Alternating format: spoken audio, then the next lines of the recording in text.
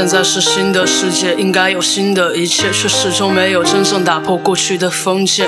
我们还是说不出我是同性恋，不被法律承认，怎么会有明天？怎么能实现承诺爱人的一切？还不是敷衍，更不是苟且偷生的将就着，在夜里哽咽。如果没有人去改变，就这样被剥夺爱的人权，我们应该去改变，发出声音让他们听见。早在一九九二年，同性恋就不再是精神疾病，太多人缺乏对我们的了解，极端的妖魔化这个群体，说我们是变态，是心理残缺。可是黑格尔说过，存在即合理，只是从古至今，人类一直都在置之不理。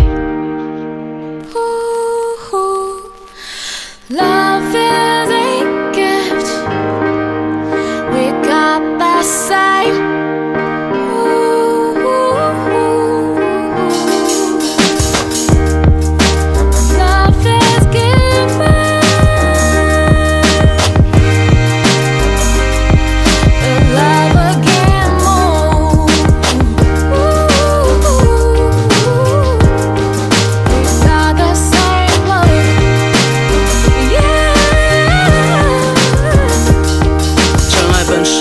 并不会因为是同性之间就变得恶心，变得卑劣。无论同性恋或异性恋，只要是爱就不该被抹灭。少一点夸张的留言，就不会有那么高的自杀率。多给点时间去了解，就不会对我们鄙夷和恐惧。人和人之间，如果能多一些理解，这个世界不就能变得更和平？难道非要再一次的十强事件，才能唤醒我们去捍卫自己的权利？时代在进步，我们都越来越觉悟，世界文化的融入让自我认知越来越清楚，越来越多的国家对这个群体越来越在乎。我们不能停止请求，让我们合法化的申诉，不能再继续迁就，总会成功的，只要我们不认输。革命从来都不是一条好走的路，社会舆论的侮辱，亲人的痛苦和所谓的治疗帮助，但我知道，爱才是唯一的救赎，而上帝他爱我们本来的面目。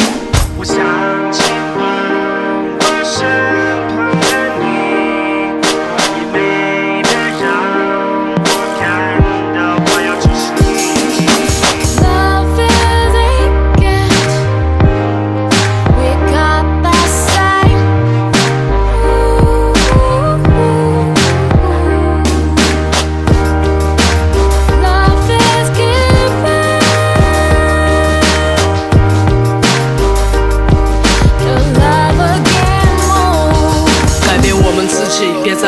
自我放弃，装好你的勇气，用你的能力，让他们看到你身上还有别的标签，做最好的自己，对这个社会做出贡献，不要再视而不见我们做的一切。同性恋只是表明性取向的词语，不该被理解为贬义。我们需要法律的保护和在意，这并不是道德的命题。无论如何分类人类的群体，无关肤色、宗教或者社会阶级，善良的人总是有善良的心，请摘掉你们的有色眼镜。看看我们，我们和你们一样，有同样的生命。